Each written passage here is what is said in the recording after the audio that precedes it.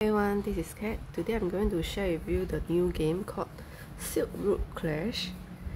So this game is very similar to Chocolate Celebration, or oh sorry, I mean the Sweet Celebration where we merge the chocolates. So this is actually like uh, merging different weapon to from small number to big number uh, to kill off the guards, the villain, whatever is on the top. Alright, and uh, one thing one different thing about this is that uh, sweet celebration we play as a horde but uh, this game silk road we play as a team of four. So uh, of course you want to play with your uh, brotherhood alright? So you can earn more comrade bonus.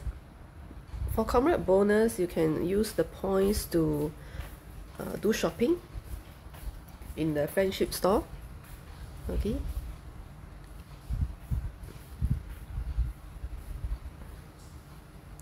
Okay so one very cool thing about this is that you can actually buy the warrior boost pack uh, cost uh 588 I'm not sure whether next day it will refresh or not because this is only the first day that I play. And you can buy more stamina. I'm going to use this stamina because the uh, warrior boost pack actually requires how many stamps? Six stamps. Okay so uh I think I think for this you actually need a map full of all these numbers full of items here so that it will merge. Okay I'm just going to press and show you how.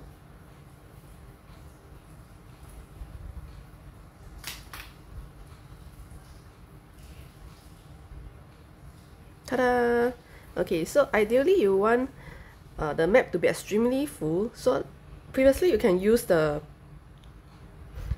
um, here is called discharge sale so uh, when your team or your horde uh, is more active I mean horde as in when you play sweet celebration your horde is very active and then there's a lot of uh, sweet tokens yeah so that actually serve the same purpose to remove three of the lowest level uh, here we call it warriors okay? And then uh, you're supposed to uh, kill a few birds in one stone. So you try to put all the large number to merge the large number together. Otherwise you put the consecutive number close to each other so that you can hit the bonus.